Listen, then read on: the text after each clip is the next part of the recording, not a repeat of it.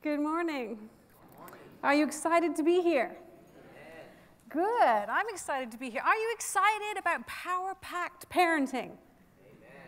Uh, not as excited as I am, but hopefully that'll change here in the next 45, 50 minutes. I'm going to look at five parenting PowerPoints. Okay? Now, if you did nothing else in your life after today but applied these five things, within a week your life would be different, and within a year your family would be completely different. Do you know that? And yet, you're thinking, oh, this is great. Carolyn's coming up with five new things for us to do. I'm not. These are five things you've heard. If you've not been here before, this is all new. you're going to have a lot of new to go away with. If you've been here before, this isn't anything new.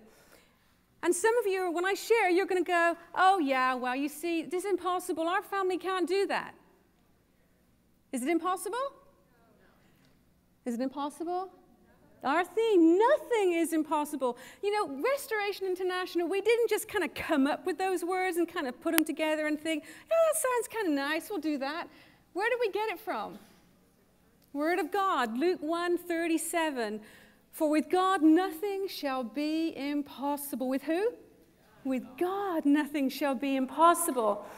Matthew 19, 26. But Jesus beheld them and said unto them, With men this is impossible, but with God all things are possible. And I looked at that was King James, but in the Message Bible, this is how it puts it.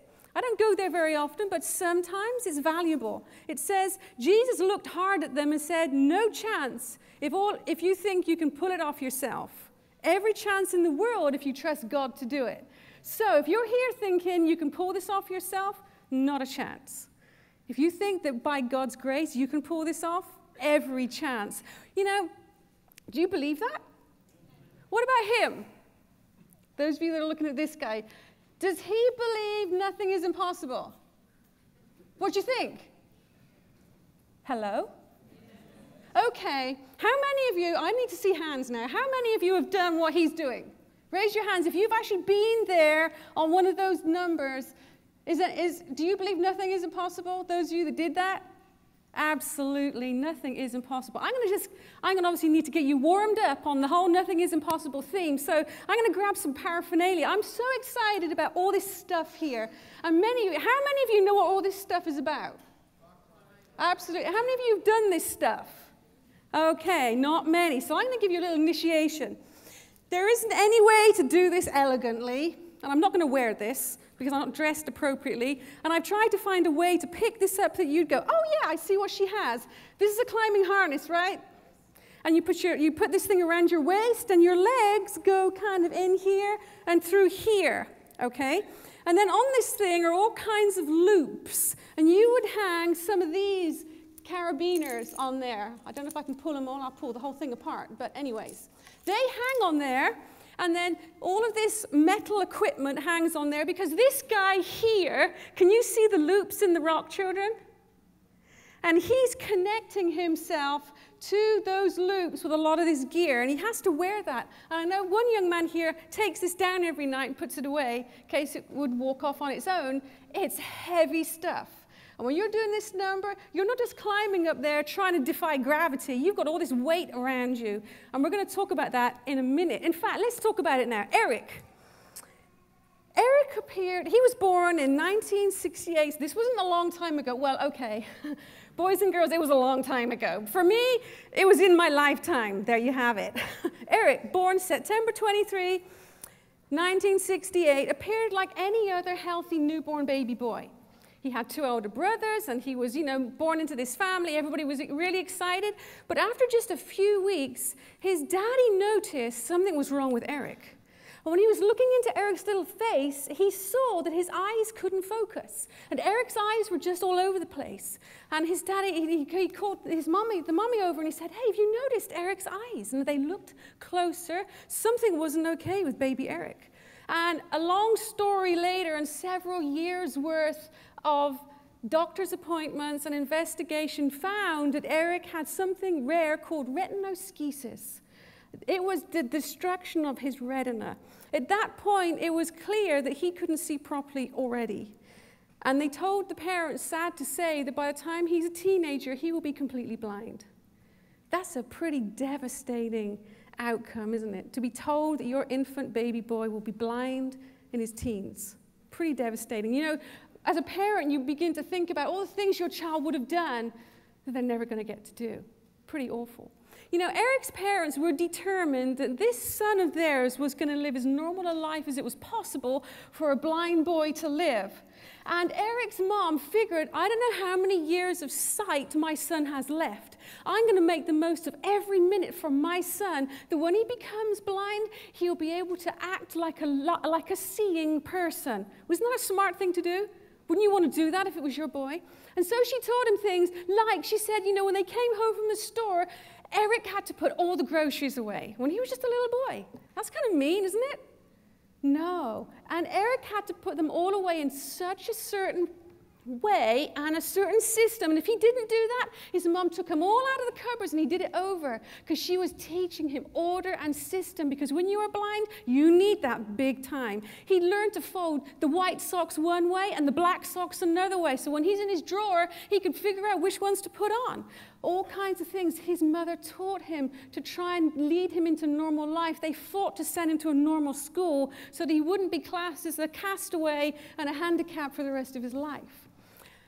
When Eric was 16, tragic, tragedy hit his life again. By 13, he went totally blind, by the way. That was devastating for him. Th he thought at least in his later teenage years it might happen, but by 13, he was totally blind.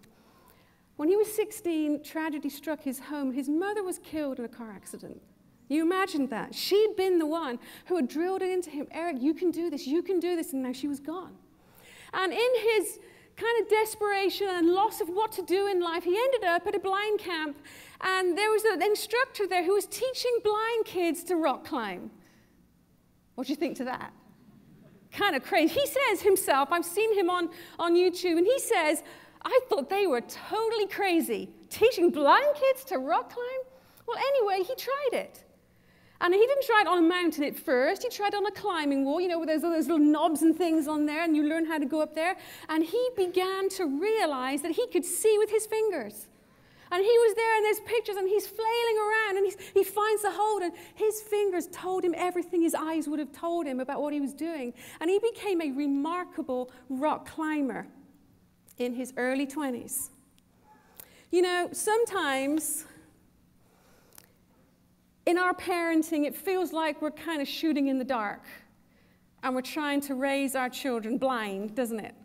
You know, it feels like we don't know where we're headed, where to put our next step. It's an uphill journey. Getting to the top seems impossible, and we're going to have to step out in the darkness. There's so many beautiful parallels to this story.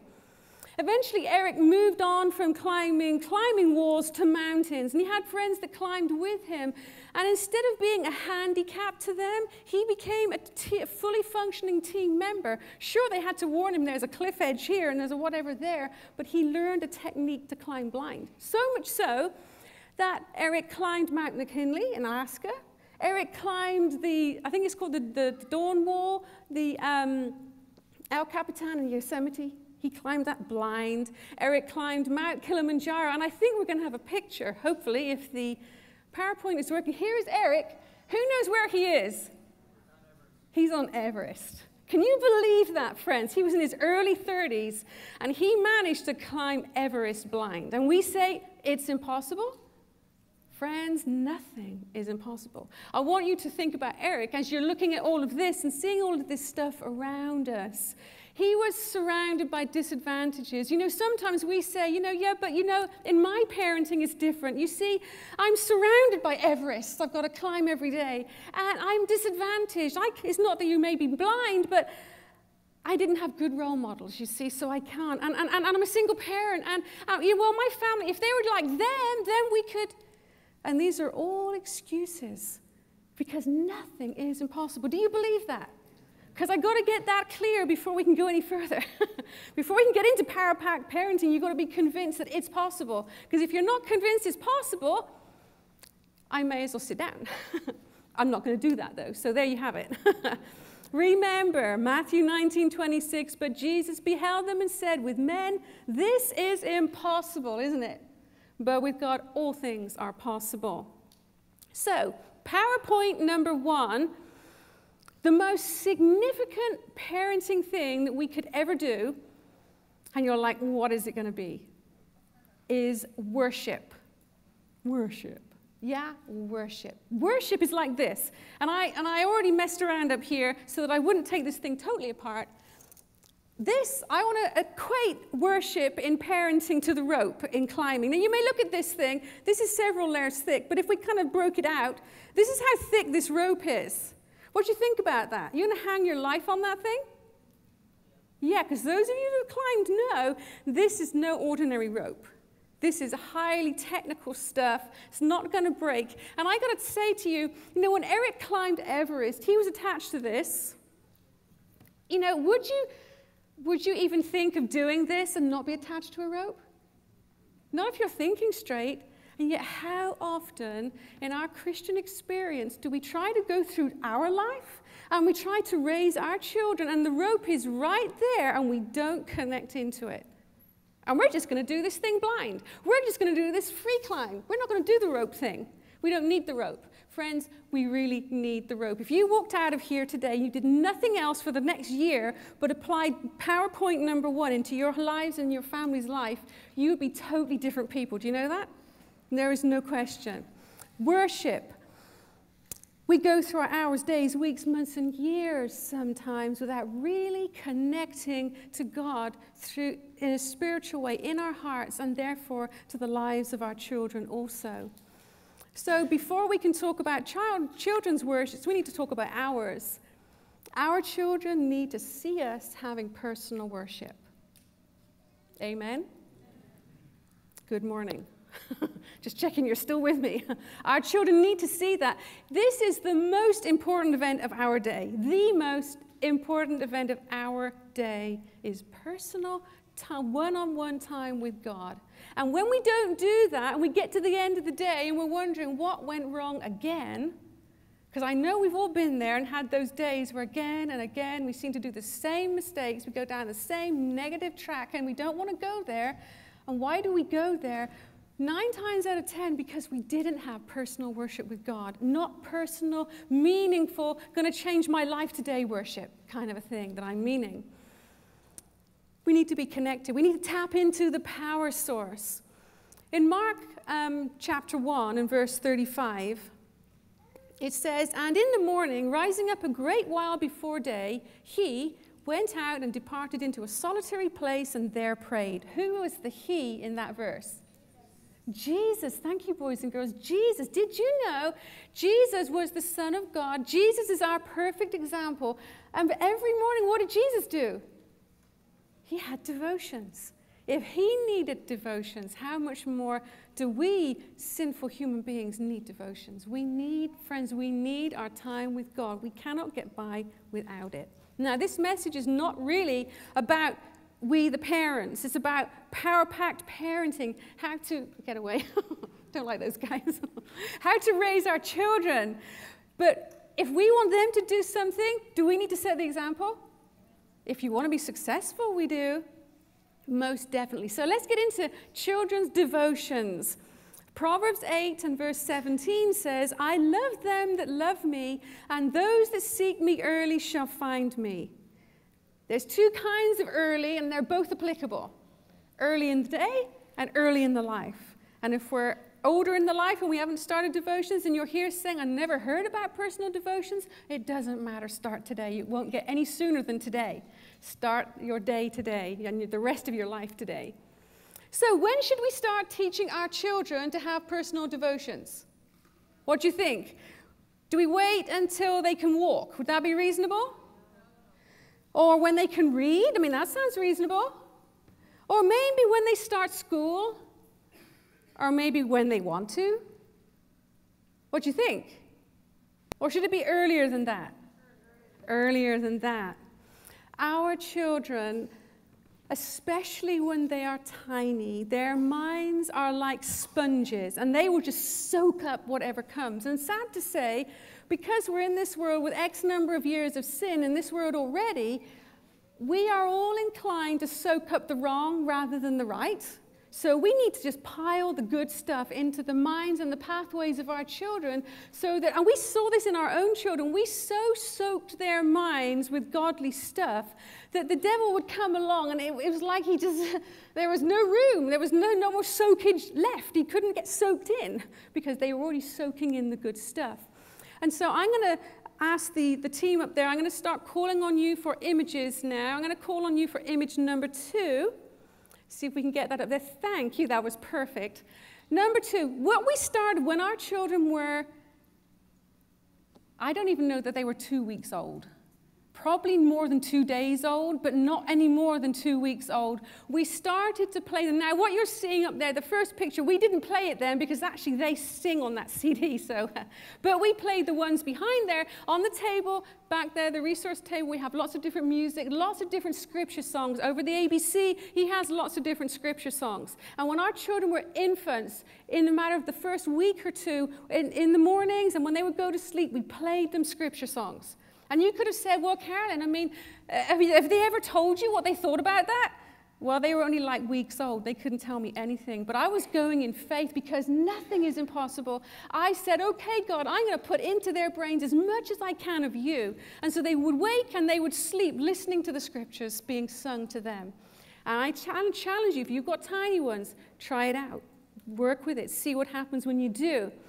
I'm going to put, ask you to put up in image three now. Image three, My Bible Friends. Now, they don't have them over here, but typically you can get those at the ABC. These are the, there's, there's two different kind of books in Adventism that we're used to for children. The, I call them the red-spined books. That's these, My Bible Friends. There's the blue-spined books. We started our children off and they used these for years. They are the most beautiful stories. And when they were really little, we read the stories. In fact, we read them so many times that I can memorize some of these stories even now. You know, small donkey, trit trot, a small donkey. anyway, top of the hill, there's Bethlehem. You know the, you know the drill. we read those to our children so often when they were just little, tiny, tiny children that by the time Hannah was two and Caleb was coming on the scene, she could do her own devotions. Do you know why? Because she could turn the page and she, it was almost like a tape recording in her brain because she knew all the words that were on that page and she knew when to turn the page because she'd heard us read it so often.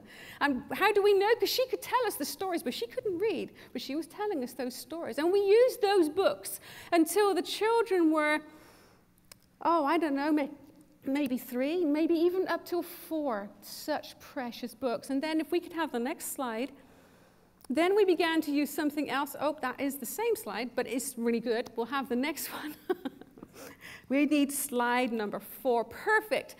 Anybody familiar with Thy Word Creations? Fantastic place. If you're not familiar, we don't have the resources, but that's why you need your program. Write down Thy Word Creations on your computer, on your phone. If you Google that, you will go to their website. And they have numerous books which are, which are portions of Scripture. So you saw, I think the picture was Isaiah 53, and then there's Psalm 23, and 1 Corinthians 13. And at the age of three, Caleb learned to sing the entire chapter of 1 Corinthians 13. And I'm being honest, I was skeptical. When I listened to it, I thought, oh, this is so boring. I mean, I mean, I'm just being honest. It's so drab and dry. They'll never learn this. I was rebuked. Within three weeks, my three year old was singing all over the house 1 Corinthians 13. And within about three months, so was I. it took me a little longer. In fact, we used to, you know, church is further now, but years back, when we, church was about an hour away, we would try to see at what point on the road we would finish 1 Corinthians 13 from when we started leaving our driveway. And it was different each week, but it, you know, it got to be in fun. And then, then there's the Ten Commandments. And so for their devotions, they would put in the CD or the tape back in those days, and they would listen to that. And we would talk about it. We would use it in family worship too. That was what was going on when they were around about the age of three.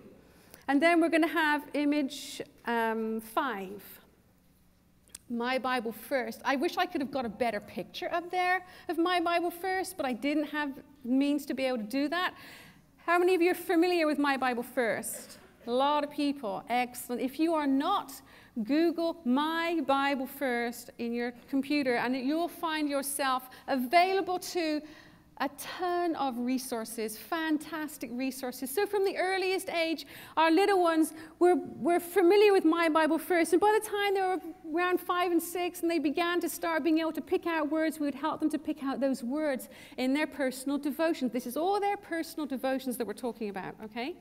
And then, as they got older, they could fill in the little blanks on the little pages. And My Bible First has a lot of resources besides their lessons. There's pictures that they can color and little activities that they could do. And I would photocopy these pictures during the week as part of their personal devotion time. And we went through, My Bible First has, you know, it start, they, it's pretty much a three year cycle through the Bible for every level. And I think that the kindergarten primary, Hannah did it three times over. That was nine years worth. What a blessing that was. Caleb wasn't so many because we kind of, he always had to move on a little before his time because his sister was moving on. We went through the junior system, and I think we did that one and a half times through. It's a fantastic education, and it's not just about Sabbath school. Use it for their personal devotions. Then you haven't got to come up with all these ideas all the time. Somebody else already did, and it's excellent material. We're going to look at the last slide now, um, number six Conflict of the Ages series. What? For their devotions? For their devotions. Don't let people fool you into thinking that your children won't need and won't have an interest or a desire in spirit of prophecy till they're in their mid to late teens. Because that is the devil's plan. I'll tell you why. Because by the time they get to their mid to late teens, there will have been enough peer pressure around them to say, you don't listen to that old fogey stuff. That's from years gone by. It's not relevant to today and you've missed your opportunity. Now, if that has happened, don't give up. If that has happened, you can, put, you can pray for a love for that in the heart of your child. But if you have young ones, it, there's, there's never too soon a time to start. So, Caleb was six, and along with the My Bible First lessons, they each, in each lesson they show you which bit of patriarchs and prophets, prophets and kings, or whatever they're referring to. And so on this particular occasion, the week was Moses strikes the rock. That was the kind of theme of the week and they had the particular part of patriarchs and prophets that that was going to be about. And so I had him listen. Remnant Publications produced those that I showed you up there. You can Google them. I know, I don't think they have them today at the ABC, but the ABCs do stock those. They are the best audio version of the conflict series that I've ever heard. Really fantastically read, very engaging, and our children from six years and up, and I only started at six because that's when we got them. So Caleb at six was listening to Moses Strikes the Rock, and I thought, I wonder if he's really listening, you know, or is he just kind of zoned out and he's just doing time in his devotions? And so as we dried dishes together, I said, Son, tell me about your devotions. And he'd been listening to patriarchs and prophets, and he began to tell me, and I can't remember the example he gave, but I thought, whoa, I never heard that before. And I thought, hmm, being a mom, I'm going to check him out. You know, so after after we'd done dishes, before he was getting on with school, I went to the book, and sure enough, he had heard something on there that I had missed all these years. Praise the Lord. So I encourage you, it's never too soon to start a, a love in your children's hearts. You know, and by the time Hannah was 10, we had bought her for her personal devotion, Steps to Christ, large print. You can get those guys, big, you know, large print. And then she wanted Desire of Ages, large print at 10 years old. We bought that for her. Please encourage your young people. If you are enthusiastic about their devotions, if you are saying, you know what, you're going to really like this, this is going to be really good, and you you show the positive, they will engage in devotions. And friends, there is nothing more powerful for your children than mine than connecting their hearts directly with heaven. Half the work you're trying to do will be done here if you connect their hearts to Him. Well, we've got to start as soon as we can start and make it practical. Okay, we're going to move on in worship to family worship. When the, the climbers are climbing, and particularly as they climb Everest, they are linked together by rope. Okay? There's a reason for that. Certainly, especially on certain areas where they're traversing certain areas, they are linked together because if one falls, the rest will hopefully be able to save him and they won't all go to their death. Family worship is a bit like that. The point of family worship is so that we can be connected together as a family. We know each other's weaknesses and strengths, and we can help one another. It's a great opportunity to reinforce their personal devotions. And oftentimes in worship, when our children were little, we would ask them, So, what did you do in your devotions? Or what if they hadn't done anything? Got nothing to share. So, it was a good idea to make sure they did something in their devotions that they could have something to share. And we didn't just ask, What did you do? We asked, What did you learn? Because I, I can do my time, but what am I learning? So we would ask them, What did you learn in your devotions? Child Guidance, page 520 says In every family, there should be a fixed time for morning and evening worship. Friends, I didn't come up with this idea myself. It's a God idea. From way back in Bible times, the children of Israel, they had morning and evening worship, and this is where this comes from. When Hannah was six months old, and I'm, some of you are going, Yeah, I've heard these stories before, but there's a lot of you that are new. And I'm, so I'm trying to span the age range and span the information range, if you will for, for the different people that we have here. When Hannah was six months old we began to do family worship, she'd been having her personal devotion time with the scripture songs. And now Paul and I sat her between us and we're bringing her into family worship. And at the time, we were studying Desire of Ages together. And so we sat her there, and we had the book between us, and Hannah was thrilled about family worship. Oh, she was, you know, she was messing with the book, and we were horrified. I mean, we're brand new parents, and you know, we were horrified. This isn't meant to happen in worship. Hannah, don't do that. Well, what was her problem? She didn't have a problem. We had a problem. Let me tell you, because it went on the very next page in Child Guidance. If you haven't read it, friends, you've got to get that book and read it. Child Guidance 521 says, Let the seasons of family worship be short and spirited.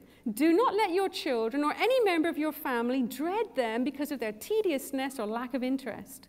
When a long chapter is read and explained and a long prayer offered, this precious service becomes wearisome and it is a relief when it is over.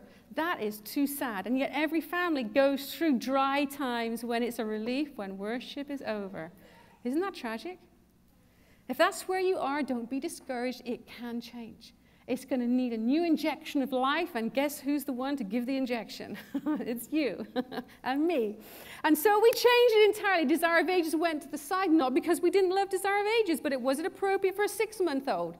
No, it wasn't. And so we brought out the felt set and we began to teach her the stories of Noah and Moses and Jesus, baby Jesus, and all these different things. And we sang scripture songs, and she loved family worship. She thought it was the greatest thing once we got our heads together and figured it out. You know, family worship is a great place to teach our children how to worship God here in this environment and how to worship in church. It's kind of like your education ground. And so in family worship, we didn't allow the children to be on the couch and off the couch and on the couch and off the couch and grabbing this and getting a drink and running there. It didn't happen. They knew that, that we need, is that how we're supposed to be in church? we as adults just get up and down and in and out and run. No, no. So we're gonna, where are we going to start this? And so we started it in childhood and we taught them we're worshiping God. We sit still and respectful and reverently. So we would sit them on the couch between us and we still sang and we still did the felts and we did all these different things. They really loved it, but they needed to sit and pay attention. So what happened if they didn't? I won't ask Hannah to tell you, but uh, both children were sent from worship, not downstairs to play, to sit on their bed and you know, sometimes parents, the temptation is okay, so our children sent out of worship, and now we just stop worship, right? No. So sometimes, didn't happen very often, but sometimes one, the other, or even both children were sent from family worship, and Paul and I carried on doing the felts and singing scripture songs, actually in a louder voice, so they knew they were missing out on something really great.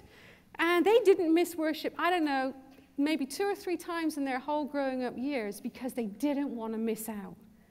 We taught them early how it should be, how it should go in the family. And as they get older, you know, we we're now going through the Bible together. We read the whole of Desire of Ages over the last year as a family in family worship. And now we're listening through the Bible. We've just, we're about halfway through Deuteronomy. It's pretty interesting, but we're really enjoying it as a family. On the, on the last part of worship, I just want to talk about church worship. Family worship teaches our children how to be in church worship. When we take our children to church, we always went to Sabbath school with our children. Why?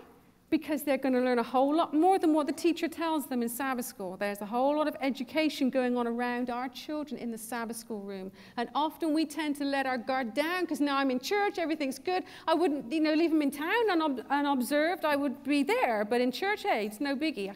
I'm not going to begin to tell you the things that go on in Sabbath school rooms, but if you really want to know, come and ask me personally. I'll tell you some personal examples of what has happened in the Sabbath school room. So we were always there. And you know what? If you end up going to Sabbath school with your children consistently, guess what? Guess who will become the teacher? You will. And don't go, oh, but I teach them all week and now I've got to teach them. No, pray. I just praise God for the privilege not only to teach my own children, but to teach other children too. So that's a great opportunity. Church, when our children go to church, how do we teach them to sit still and quiet? You bring their whole toy box along. No, we don't bring their whole toy box along. Maybe one or two little quiet books, felt books, maybe a picture. I used to photocopy the picture from the week of the My Bible First lessons because our children did them for their devotions. We did them in family worship. And then they had it at Sabbath school. They really got a dose of it all week. By the end of the week, they really knew about Moses striking that rock and why he did it. No questions asked. And so then my Bible First had pictures. I would photocopy the pictures, and so the children would color Moses striking the rock on that Sabbath as they were in church, and then they would give it to this old person or to that person. They had, there was a purpose in what they were doing. Something we never did, we never took them to the playroom. I mean, sorry, the mother's room. You know, friends, our children are really smart. And a baby, not a year old yet, will know that if it messes up, if it fusses in the church, it gets to go play in the playroom. Try it out and see. You'll find out it's the truth. And they, so we never took them there. They knew if they were being taken out of church, it wasn't because it was we were going to go have a party. They knew they were in trouble. Not a good idea. So anyway, I'm going to finish on this on this PowerPoint number one. Have you heard the book about the book having a new kid by Friday? There's having a new teen by Friday.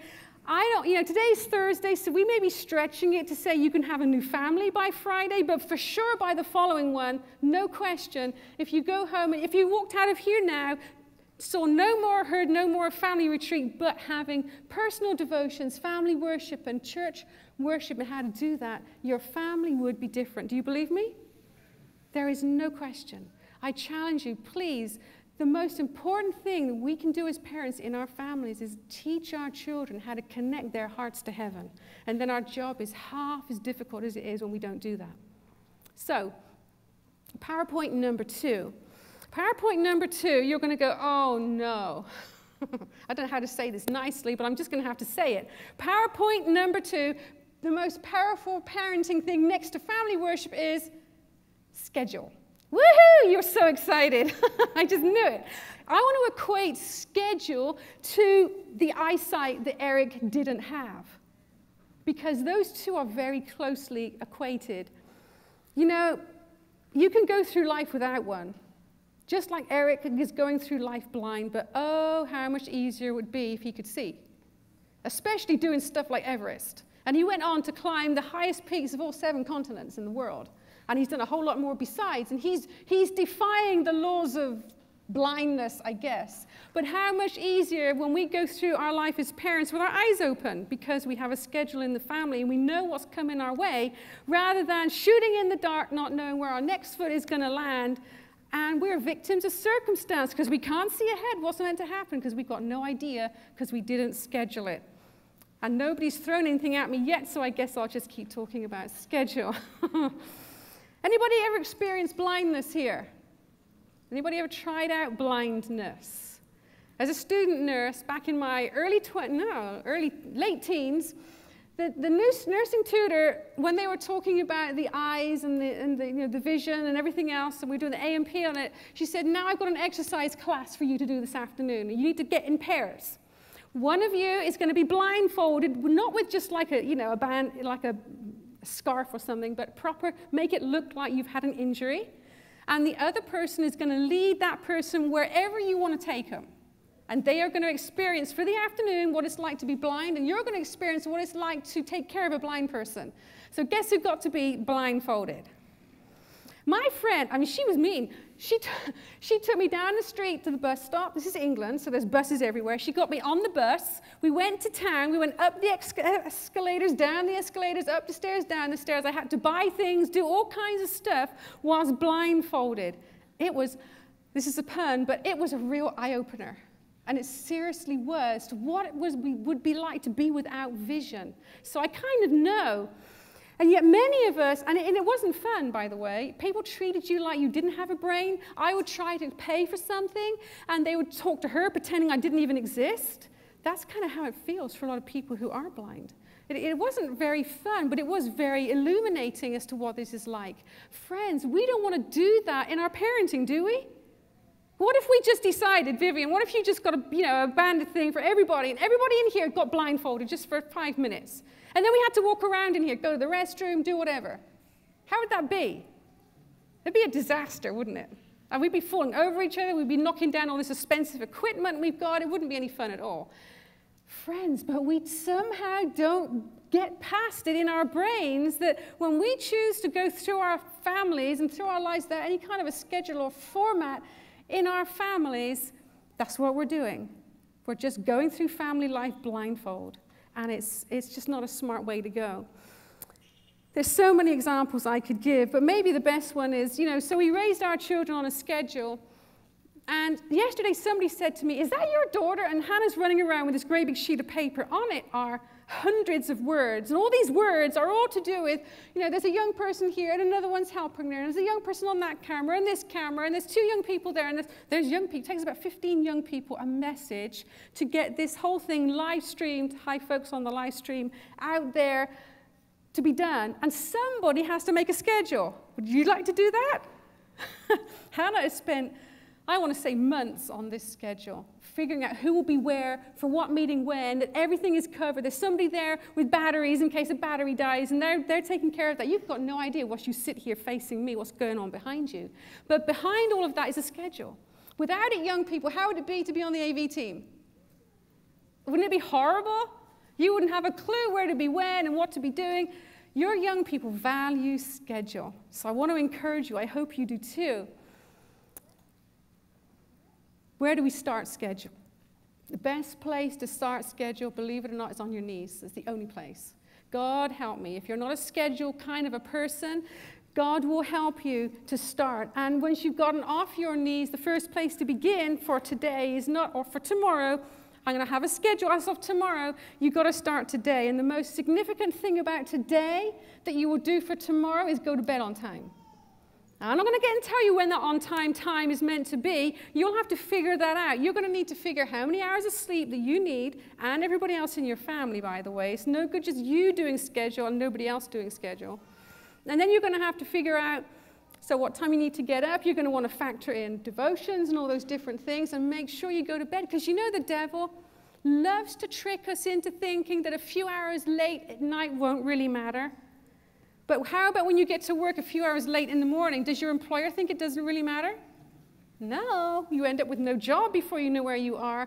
So the devil wants us to not worry about what we do at the night because he knows what will happen in the day, right? By the next morning, no time for God. Number one power packed parenting point worship. He knows that. So getting to bed, getting up on time. You know, I don't know how else to say this. You figure out when you need to do it, and by God's grace and through a lot of prayer, you just need to do it. I can't be there to drag you out of bed in the morning. You just need to choose that I will get myself out of this bed, no however hard it is. And tomorrow I'm going to go to bed a whole lot earlier to make it a whole lot easier to achieve. We know that because we've read about worship, there needs to be a fixed time for morning and evening worship. So you're going to figure out when I need to go to bed so that I know when I need to get up. And I'm going to figure out when worship needs to be because here's when everybody has to get out of the door in my house and go to work and school or wherever they go so that you can factor back. And you're going to start finding bedtime is going to be a whole lot earlier than you think, right? In order to be able to get up a whole lot earlier than you probably are to fit in these things that we need to do. But is it impossible? Nothing is impossible. It is very possible. We can do this by God's help alone. We're going to factor in meal times. How important are meal times? Very, uh, there's a young man there, very important. And you may say, oh, my kids don't care about schedule. I want to tell you something kids care about schedule. They really do. And from infancy up, they need schedule from birth. They need regularity in their meal times. Regularity in eating, we're told in Counsels on Diets and Foods, um, page 179 regularity in eating is of vital importance. There should be a specified time for each meal. Oh, moms, I know I'm stepping on your toes, so I'm stepping on my own. It's a challenge to get that thing on the table and then to do it at the same time every day. We're also told if we're going to air five minutes one way or the other, be five minutes early rather than five minutes late. Should be on time. And you know, when it is, you haven't got fussy infants who are crying because they don't know when the next meal's coming. And you haven't got teenagers raiding the refrigerator because I don't know when the next mixed meal's going to come. It's scheduled, it's going to happen in an orderly fashion. It cuts out a lot of uncertainty for our babies and our young people. And then we're going to add, and you see, you're not going to do all this Monday morning when you hit home from family retreat. Hopefully, all you'll get around to figuring out Monday is that you've got to get to bed early Monday night so you can get, on, get off the ground on Tuesday with starting about getting up at a decent time. Maybe all you'll do next week is get up when you said you were going to get up. And if you did, you have really achieved a lot. And then you'll start to put in place these other things as you get up and have your time, have your time with God, and working out when worship's going to be, working out when your meals are going to be, working out when chore time is. Some people I know don't get to bed because they're doing chores late into the night. Friends, chores stops at family time in our family. Family time is at six o'clock, and we don't do ironing and laundry and vacuuming and all that stuff into the evening. It doesn't happen. If it hasn't happened, that's it. Tomorrow's another day we can take care of it then. But when we tend to kid ourselves, we can do this stuff way into the night, that's when we lose a lot of what we lose in our families and we don't get ourselves into bed. So the devil does not want us to have a schedule. And he knows what a mess our families are when we don't have one. And there's a lot more specific information. There's materials back there the reason that we don't have a lot on that table is because it's all on Audioverse and it's all on the Restoration website. Download it for free and listen. There's a message there specifically called The Secret of Success. That message is very specific about how to roll out a schedule, even more so than I'm able to be now. So, we're going to move into our PowerPoint number three. PowerPoint number three is obedience. That is the third powerful point of parenting that we don't want to miss. And obedience, we're still tying into our climbing theme. And you know, when Erik was climbing Everest, there was something that he would not have gone without, and that was a pair of crampons. And I didn't think to tell Vivian we, I needed crampons up here.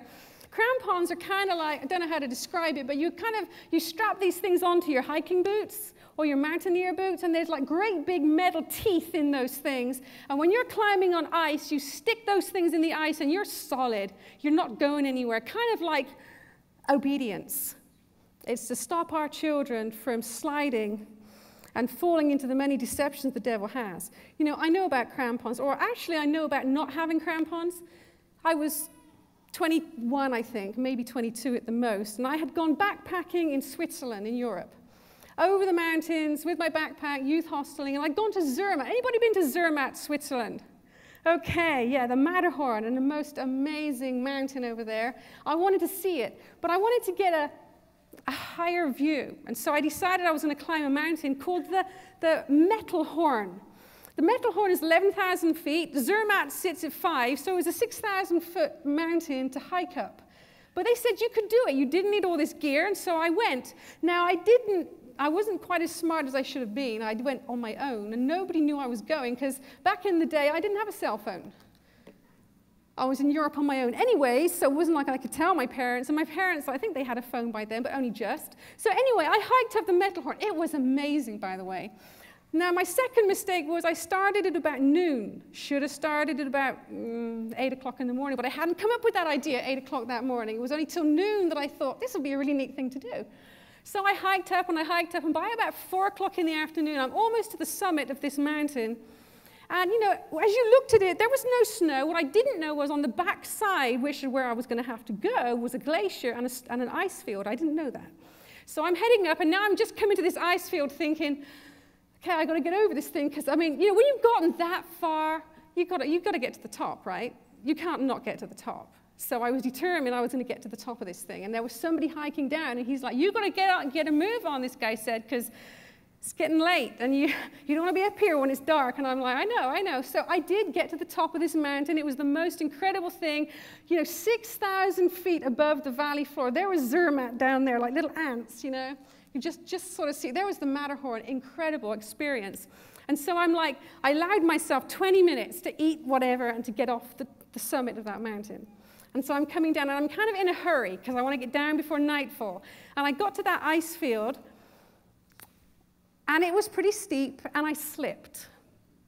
And I fell onto my face, or well, onto my front, and I began to slide down that ice field. And I thank God I managed to flip over onto my back so I could at least see where I was going.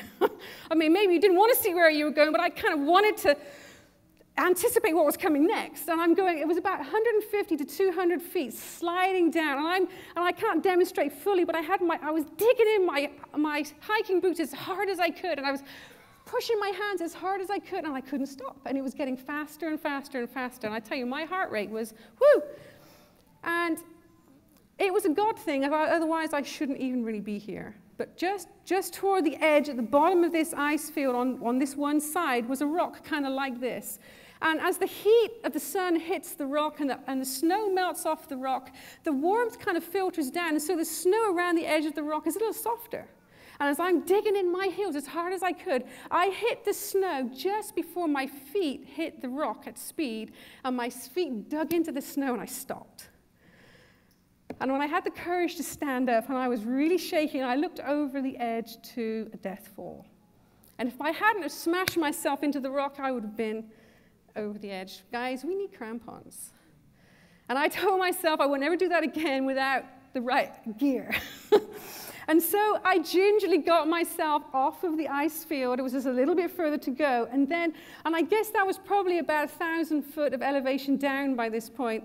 And I ran the next 5,000 feet of elevation down that mountain so that I got down before nightfall hit. And I just thought, whoa, and I was really kind of shaky. And I thought, whoa, that was something I will never forget. And as I began to realize how obedience is the, are the crampons of our life and what we need to teach our young people, it reminded me of that whole story. And friends, we need it because without teaching obedience to our children, it is a death fall. Their feet will slip off of the path that the devil wants them to slip off of, and there is nothing to grip them on. So we need to teach them obedience. It is vitally important. Child Guidance, uh, page 82 says the mother's work should commence with the infant. She should subdue the will and temper of the child and bring its disposition into subjection. Teach it to obey, and as the child grows older, relax not the hand. We start when they are very, very little. And as they get older, guess what? We don't go, oh, well, I told them all that when they were little. What do we do? We teach them all over again in their teenage years that this is what they need. Yes, they still need to make their bed and they still need to be courteous and respectful and all the rest of these things. We continue on. It says on page 82 of Child Guidance obedience to parental authority should be inculcated in babyhood and cultivated in youth. In babyhood, what does that mean? Well, I'm not going to get into all kinds of disciplinary methods up here right now. This is not really the place for me to do that. But, but to say that, you know, so when our children were infants, and one of the first things an infant will do is they'll kind of arch the back, you know, to let you know that they didn't want to be where they are and what you're doing. And if where they were and what you were doing was perfectly safe and fine, we would restrain the arching back and say, no, no, no. Let them know. No, we didn't beat on them, but we let them know, uh uh-uh, uh, you need to be doing this and be happy to be doing what we see you need to be doing. We start when they're little and it moves on as they get older. Here is another, another um, point. Child Guidance 92. One precious lesson which the mother will need to repeat again and again is that the child is not to rule. Give them nothing for which they cry, even if your tender heart desires ever so much to do this. For if they gain the victory once by crying, they will expect to do it again. The second time, the battle will be more vehement. What do you think? So when they want their diaper changed and they cry, we can't change the diaper. No, let's get real. I have to cover that because somebody will go out of here saying, oh, she said. No, she did not say. We have to be reasonable. But I would say this even with our infants, when they are crying to be nursed and fed, do we need to feed them when they are fussing to be fed? We don't. That doesn't mean you don't feed your infant, I've got to clarify. But we would work with our little ones until they would calm down and stop fussing, and then I would nurse. It didn't take much for them to realize we're not going to throw a fit and then we get to eat. Because if they do it when they're a few months old, what is it like when they're teenagers? I can tell you, it wouldn't be funny. Not nice at all. We start with them as they are little, nothing for which they cry. Because if we don't, then when they throw their tantrums, it's one thing when they're two, and we've got to learn how to deal with that. But when they're teenagers, do teenagers throw tantrums? Yes, they do. Do adults throw tantrums? Yes, they do, don't we? don't we? We need to learn how to have that self control. Proverbs 13 24 says, He that spareth his rod hateth his son, but he that loveth him chasteneth betimes. Spare the rod, spoil the child. We, and I don't need to get into all the versions of what that rod is, but something that I would really encourage you to read is chapter 45 of Child Guidance, entitled With Love and Firmness. If you just read that chapter, in, in my book of Child Guidance, that chapter, that chapter is so eared. The pages have been looked at so often because I don't have humanly the natural balance between love and firmness, but that is what we need. Love isn't love if there's no firmness in it. It's indulgence, and, and it will lead to all kinds of misery that we don't want our children to experience. I'm going to move on to PowerPoint number four. PowerPoint number four, you know, we've been talking basic stuff, right? But sometimes there's so many things we think we're, we were needing to do in our parenting that we don't boil it down to the basics. And I'm boiling it right down to the basics. Number four, honesty. We need to teach honesty. Honesty in, in parenting would be like the oxygen of climbing. Now, when you're doing this stuff, this guy doesn't have an oxygen mask. But when you saw the pictures of Erik on Everest, he was all masked up, kind of looked like he was, you know, a firefighter or something. He wasn't, he had oxygen. Oxygen is vital when you're that high up. Everest is at 29,000 feet, and at 26,000 feet, the oxygen levels are really low. In fact, they call it the death zone. Anybody want to go to the death zone? Anybody been there? nope, I don't think there's anybody here that has. I haven't either. But in the death zone, at sea level, there's 98% oxygen in your blood at sea level. When you're in the death zone on Everest, there is 40% oxygen available in your blood. You are seriously oxygen depleted. And, you know, our world is a bit like the death zone. Our world's kind of the death zone of the universe, isn't it? It's where the, sin, the sin's hanging out. And we want to get rid of it. We need the oxygen that this world needs. And honesty is kind of like the pure oxygen that we need to breathe in this world, like they do in the death zone. Child Guidance 151 says parents should be models of truthfulness, for this is the daily lesson to be impressed upon the hearts of the child. Undeviating principles should govern parents in all the affairs of life especially in the education and training of their children. If you want your child to be truthful, be truthful yourself. There's a challenge for every one of us as parents. If we're running into dishonesty in our children, take a look and ask the Lord to humble your heart and show you what, is, what are they seeing for this dishonesty that may be taking place. You know, we're talking not necessarily about big things initially, little things. I was, I was contemplating this recently. I was sweeping the floor um, because we share the chores now. The children have learned how to do them. We've taken some of them back and we share them between us. And I was sweeping the kitchen floor. And as I was going past the refrigerator, I had the thought, you know, if a child sweeps the floor and they go past the refrigerator and those bits just kind of go under the refrigerator and then they carry on, is that really honest sweeping? No, I had the thought, I had never had this thought until a few weeks ago, and I said to my children, So, I'm just curious to know have you ever swept the bits under the stove or the refrigerator? And what do you think they said? they both gave me the same answer. yeah. I'm like, you did? When was that? Oh, and, and, we laugh at this in our family, but whenever they do anything like that, it was always a long time ago. I mean, years ago. so you may want to ask yourself and your children a few questions. Now, you know, I didn't go around every day saying, Did you sweep it under the refrigerator? No, and they lied. But did you sweep the floor? Yeah, well, yeah, they did sweep the floor, but sometimes, and they said, they claimed that it wasn't very often that that happened, but it has happened at least once in both of their lives that the bits just kind of found their way under the refrigerator because it was easier than sweeping them up, so it would seem. So there's one example. You know, what about sneaking food out? I'm not going to ask you to raise your hands. But sneaking food out of the refrigerator, the word sneaking, friends, is a dishonest word right there. If you're going to say, Mom, I'm just getting this out of the refrigerator, I know it's not mealtime, and I know we do the five hours and nothing between deal, but Mom, I'm, that's not being dishonest. Now, she's still going to deal with it probably, but sneaking anything is dishonest. Did you brush your teeth? Ah. Did they brush their teeth? Ask the question. Find out, because uh, sometimes a big, a big smile can be deceiving. Did you, you know, what about reading when the light should be out? Young people, maybe I'm t- treading on your pet thing. Or breaking something and not telling anybody. We told our children from the youngest age if you break it, tell us. You'll be in only half the trouble you would be in if you don't tell us, because guess what? We're going to find out anyways. Honesty is the best policy. And if we work with our little ones when they are little, we won't run into half of what we're going to encounter when they get older. Because when the dishonesty moves from the bits under the fridge, it moves to things like not telling about who you really associate with and what those influences are that you're experiencing as a result of that. Not telling about where you've been on your computer or your phone and what music you listen to, what relationships you're getting involved in. You know, Adam and Eve hid themselves. They didn't want to be upfront with God and tell him what had gone on. They hid themselves. It gets more serious as our young people get older. And then we end up with our young people being compulsive liars, and we never know when anything is truthful. And if we're not sure if we can trust them, then we end up not being able to give them the privileges we want to give them. But if our young people are being honest and upright, don't deny them the privileges that they deserve if they've proved themselves. Give them those privileges.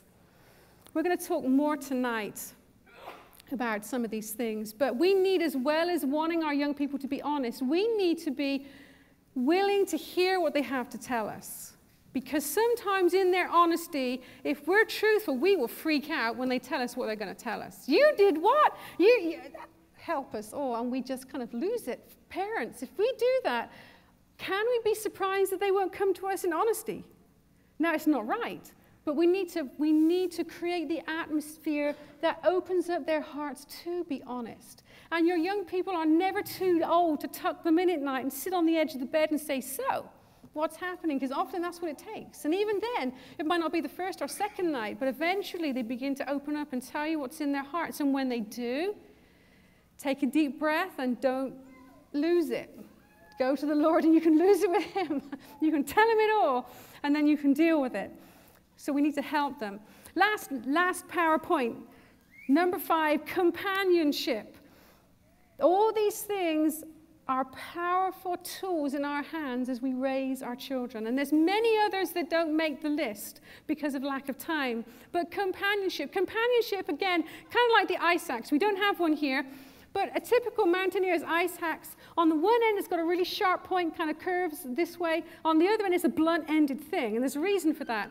When Erik was climbing Everest, they drilled this over and over and over again. Here's what you do when you're on some of these traverses where you're all roped together, and if the rope goes tight, that means a man is down. That man could be falling to his death. And so these guys had to learn that as soon as the rope went tight, they threw themselves to the ground with their ice axe to their chest, the blunt end, of course, otherwise they'd be a goner, and they threw themselves into the snow in the hopes that the weight of their bodies and all of them combined would stop the rope for the person that was falling. And Erik himself did fall. He didn't fall to his death, obviously, because he's done a lot of other things, but he did. That, that ice axe is a vital thing. Our companionship to our children is a vital thing in this world. Child Guidance 24. The mother, by almost constant association with her children, especially during their tender years, must always be their special instructor and companion. That is the beautiful privilege that God has given us to be the instructor and the companion to our children, there by their side, with them, seeing them through the, the, the good things and the tough things of life, but we're there. We're part of their world. And then, just to finish right here, Child Guidance 114. Fathers and mothers, do you realize the importance of the responsibility resting on you? Do you allow your children to associate with other children without being present to know what kind of education they are receiving? Do not allow them to be alone with other children. Give them your special care. That is a very serious statement right there. And if you adopt that in practical terms into your life, you will be different than a lot of people around you, and you will operate in a different fashion. I know because we did that. And it wasn't always easy, but I don't regret it for one moment. We went where our children went. So when they wanted to visit with friends, we visited with those friends. Or those friends visited with us, and we were always together. And I know Tom and Elaine talked in the message, and I don't remember which one, about no closed doors. You know, you go over to visit family, and then your children all trot off to the bedroom, kaplunk, and the door shut. Now what? No way.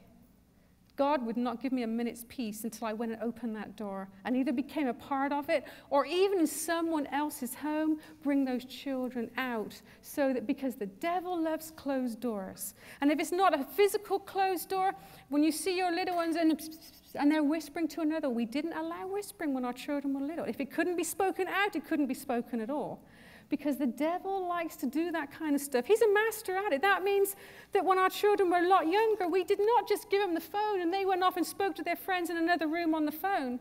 It was on speakerphone. We all got to hear what was being discussed. And if you're not sure, even if they're into their late teens, it's okay.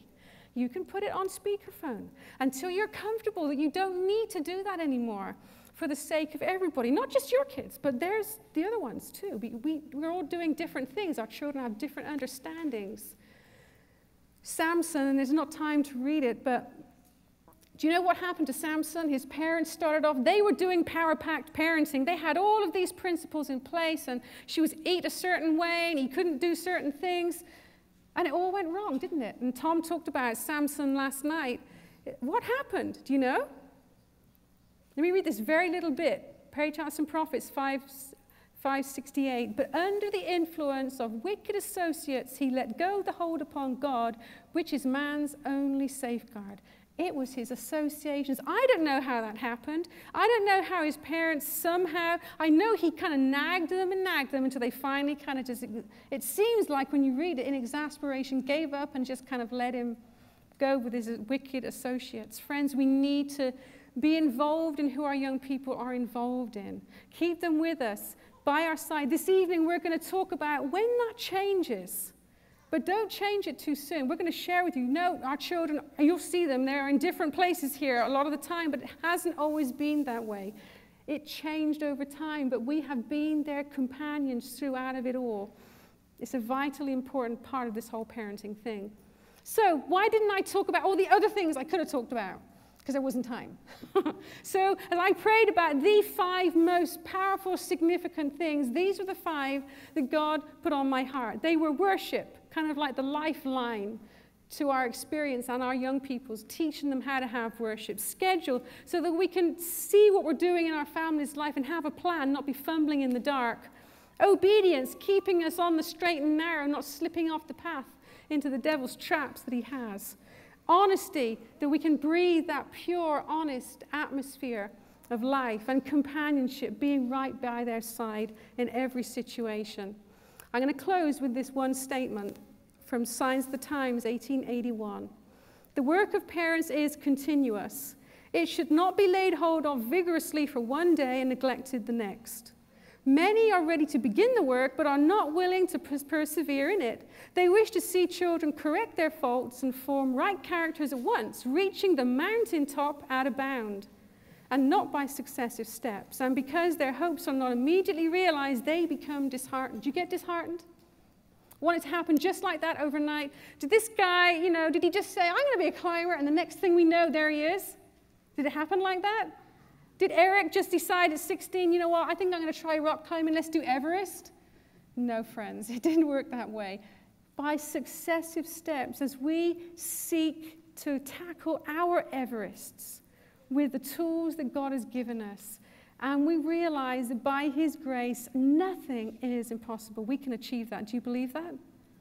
Why don't we come to our knees in prayer? And then you're going to have three or four minutes of time just to contemplate, to talk amongst yourselves, if that helps you as you think through some of these different points.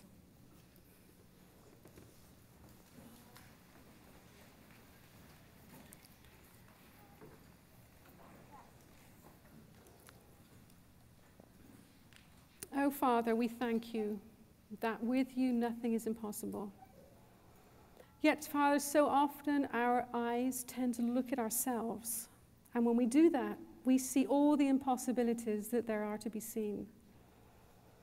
And so, Father, I pray as we contemplate these five powerful points of parenting and how we can really and practically implement them or maybe re implement them into our lives and families, I pray that you would help us not to be tripped up by looking at ourselves and what we can do or what we have achieved or not achieved at the past. I pray that you would help us to keep our eyes focused on you because all things are possible through you. Father, I pray that for those that are here for the very first time, that it's a lot of information as they come here to, to chew on. I pray that you would particularly be close to them and help them to see what it is you would have them to move forward doing, what specific points. And as they sit, and as we each sit and contemplate what you would have to say to our hearts right now, I pray that you would encourage us to move forward into the possibilities that we have in you. And I thank you for this, Father, in Jesus' name. Amen.